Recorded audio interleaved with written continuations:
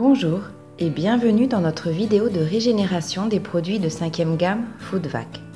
Dans cette vidéo, nous vous recommandons le moyen optimal de régénérer le pressé de joues de veau en sauce et gratin de pommes de terre, jambon et truffes noires. Nous commencerons par séparer les deux portions. Aujourd'hui, nous choisirons le micro-ondes. Nous pouvons également chauffer le produit au bain-marie ou bien au four à vapeur.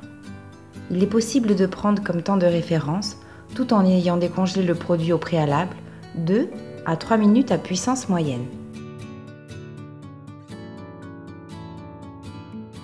Aujourd'hui, nous avons opté pour une régénération légèrement plus compliquée. Il est vrai que la plupart des personnes choisissent de marquer le produit à froid et terminer en le réchauffant. Vous pourrez voir ce type de régénération sur notre vidéo des pieds de porc.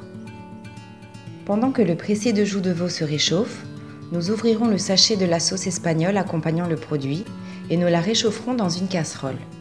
Ensuite, nous prendrons le gratin de pommes de terre, jambon et truffes noires et l'introduirons décongelé dans le four durant 10 minutes à 180 degrés.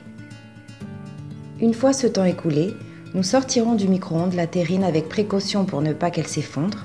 Nous ouvrirons le sachet et avec l'aide d'une spatule, nous déposerons le pressé sur une plancha ou une poêle anti-adhésive. Celle-ci devra être bien chaude. Ensuite, nous ajouterons quelques gouttes d'huile d'olive afin de bien dorer les deux côtés. Si la poêle ou la plancha n'a pas l'anti-adhérence souhaitée, il est possible d'utiliser du papier sulfurisé pour que le produit n'adhère pas. Passez le temps des 10 minutes au four et pendant que notre pressé est parfaitement chaud et doré des deux côtés, nous sortirons le gratin du four afin de commencer la dernière étape de régénération, le dressage. À présent, nous disposerons la terrine au centre de l'assiette, accompagnée du gratin de pommes de terre avec la sauce espagnole se trouvant dans la casserole bien chaude.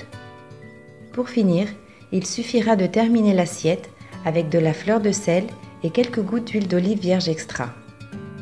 Comme vous pouvez observer dans notre vidéo, ainsi que dans nos multiples finitions de nos recettes, il est possible d'accompagner le plat avec quelques légumes blanchis.